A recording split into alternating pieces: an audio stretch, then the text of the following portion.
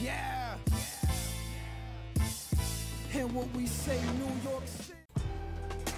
Yeah, what's going on YouTube? It's your boy Battletek, back with a quick one. I mean, a vidya. But uh, yeah, today's vidya is gonna be about uh, you know, these guys on YouTube and in these groups who they're basically a platform cheerleader and you know they're spin masters and and they spread propaganda. And and that shit drives me absolutely nuts. You know I, I don't see what in the world could make somebody want to get a youtube channel started just to spread propaganda for you know a certain company. That that shit drives me absolutely nuts man. And everything out of their mouth is damage control and propaganda. Don't believe me? Take a look around on YouTube. I don't have to fucking point nobody's name out. I don't have to call nobody out. They know who they are. We all know who they are. Shit, go on different um, Facebook groups, Google communities, um, whatever.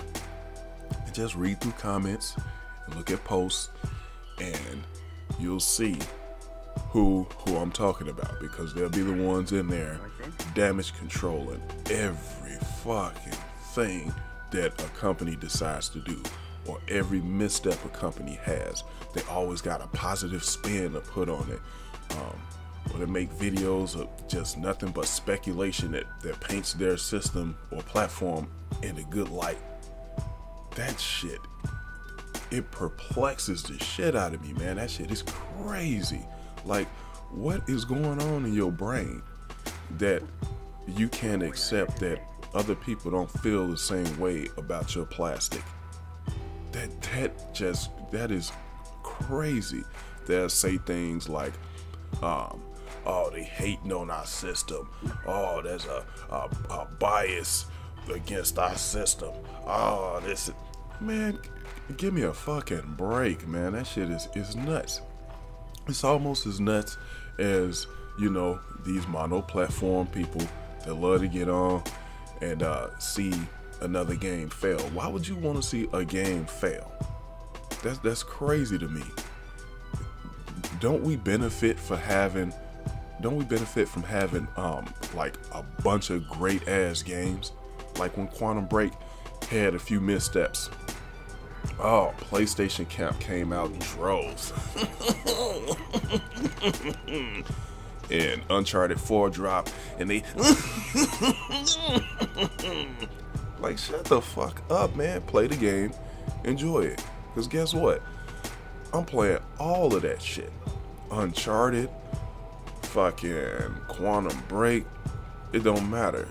And I knew as soon as Uncharted 4, I was charged up for Uncharted as soon as that shit came out, I knew what we were gonna see was a bunch of cheerleaders out here, you know, talking shit about Quantum Break. What the fuck does Quantum Break have to do with Uncharted 4?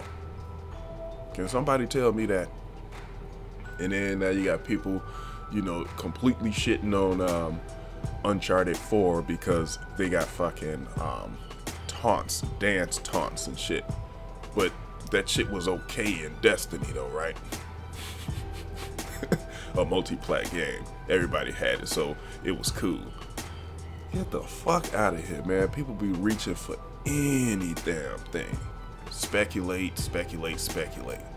Same people, you know, that get get in these groups and talk shit about, you know, the new graphics cards come out for a PC and shit. Oh, you guys gotta upgrade all the time.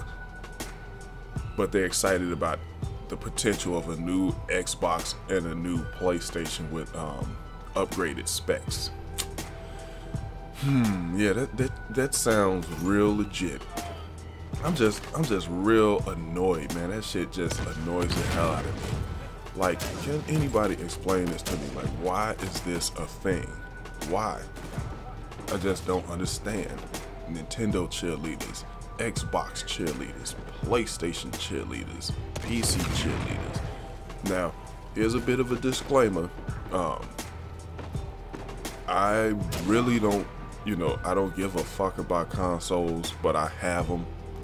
Uh, because, like I said, there are some great games on both the Xbox and the PlayStation 4 that I could not pass up. Just being, you know, a Steam, a Steam gamer, Steam, good old games, Origin, you know, just PC in general, you know. So I just, I just don't understand that. And even those that have multiple consoles, they still, you know, it's okay to have your favorite.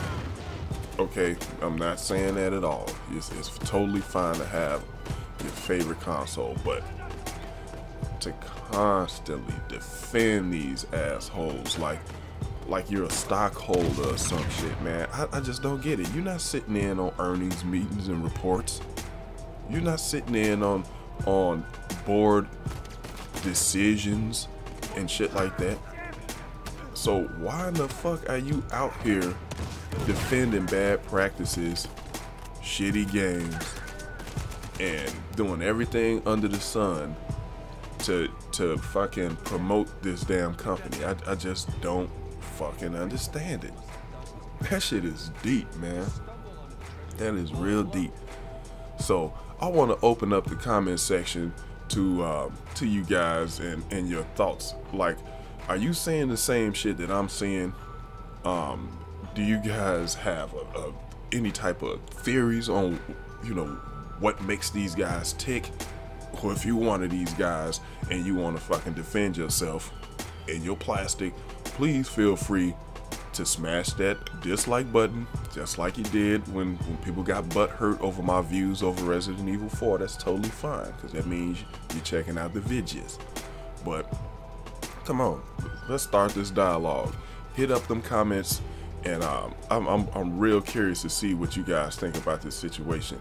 Is the damage controlling getting out of control? Are these cheerleaders getting out of hand? Drop the pom poms and pick up fucking controllers. That's all I got to say about that. Once again, I appreciate y'all checking out my videos. And remember, less trolling, more gaming. Man, I'm out this bitch.